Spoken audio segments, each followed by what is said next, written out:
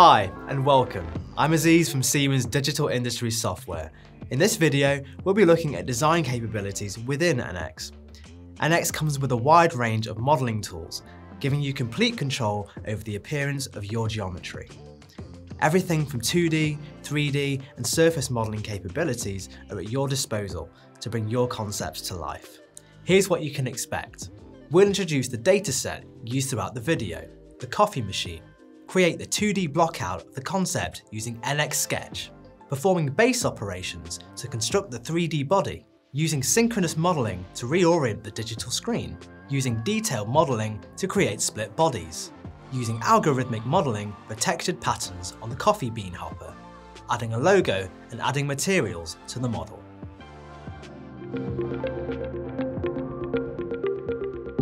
We're going to be focusing on the creation of a new coffee machine, designed by an established manufacturer. They've already created a range of successful products for cafes and restaurants, and they now want to take this success and apply it to the consumer market. Here's the coffee machine.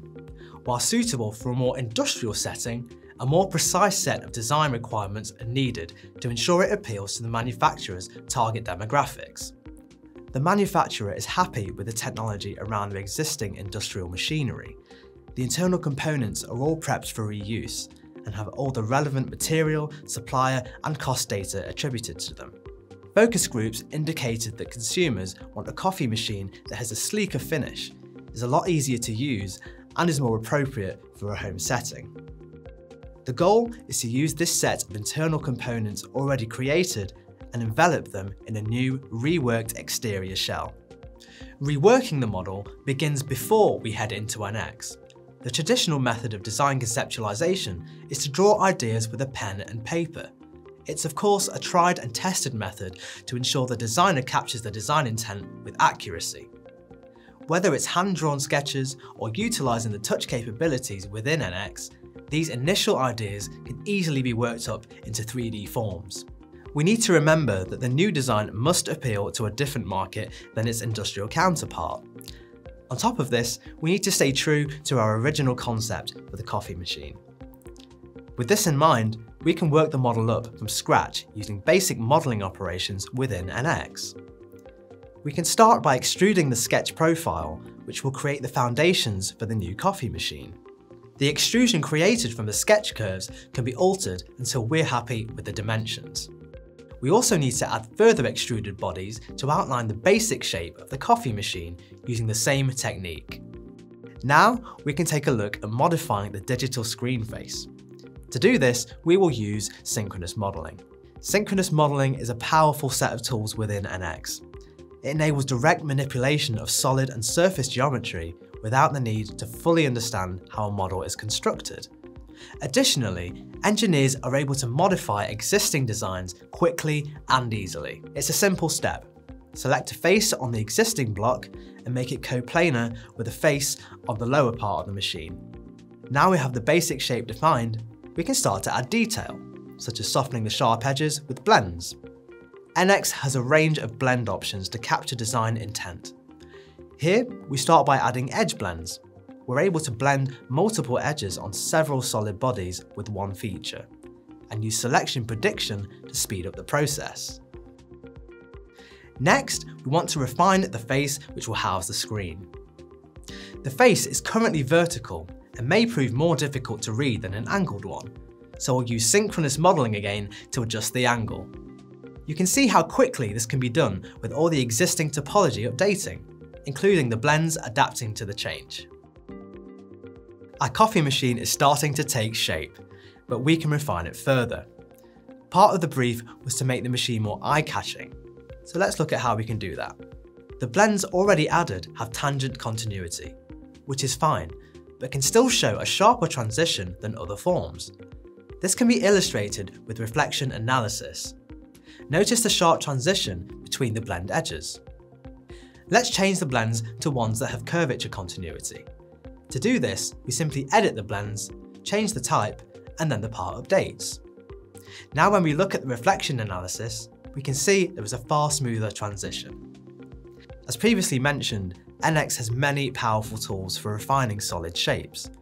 Another one of these features is Blend Corner. This command allows you to take an existing blend condition and adjust it to give a smoother, more pleasing form. It's a simple process.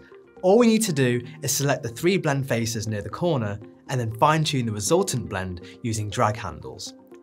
Again, we can also analyse the blend corner with reflection lines. Now, the top casing for the coffee machine will be manufactured using injection moulding. And to do this, it needs to be split into two halves. We can use a datum plane to simulate the split line, and this will divide the body into two pieces. Next, we'll continue to add detail to the top casing of the machine. To do this, we'll add a wall thickness using the shell command option. We'll input the wall thickness required and then select the faces we want to shell. It's as simple as that. Many consumer products have repeatable patterns in their designs, some of which can be very complex. These could be a pattern of holes for cooling purposes, or 3D textures to create visual interest. We're going to look at the coffee bean hopper that sits on top of the machine and add a texture to it. Doing this manually is time consuming, so let's look at how algorithmic modelling can do this and make a feature that can be reused. You can see we already have an algorithmic feature in the part that's suppressed. We can take a look at how this feature was defined, which takes us into the logic editor. Algorithmic features are based on logic rules, which are defined by connected nodes. During rule creation, NX is automatically creating a feature dialog in the background, and that will be presented when the feature is added or edited. All rules can be saved and added to the NX reuse library for other engineers to take advantage of.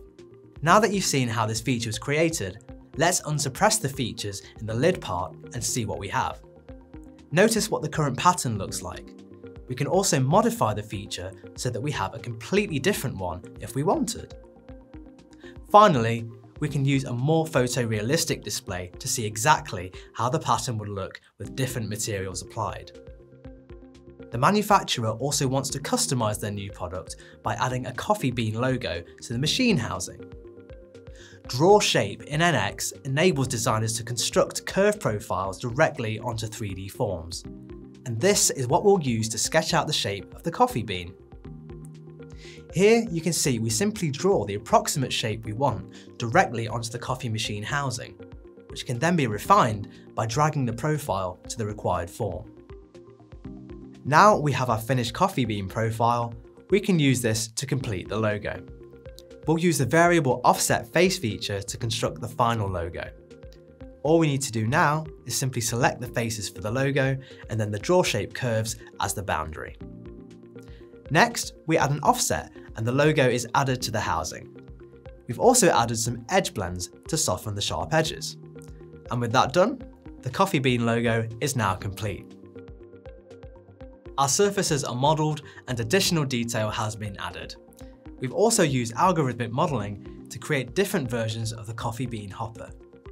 We also want to make sure we add materials to the coffee machine at this stage. By doing so, we'll start to get an understanding of what the final product will look like. As the goal is to create multiple iterations of the model in different styles, it's worthwhile adding different colours. By doing so, we're ensuring that the design team are fully prepared and ready for an in-depth design review later on in the workflow. Within NX, there are over a thousand out-of-the-box materials to choose from.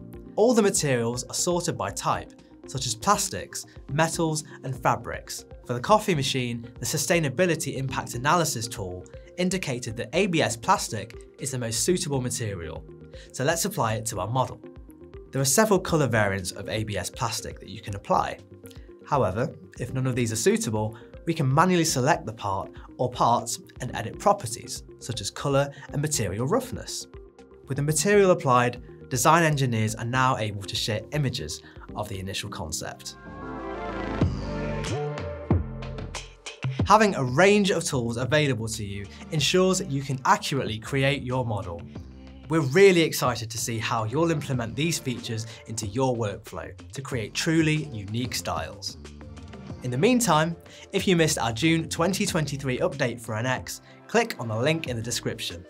And whilst you're here, subscribe to our channel to see all the latest updates about NX.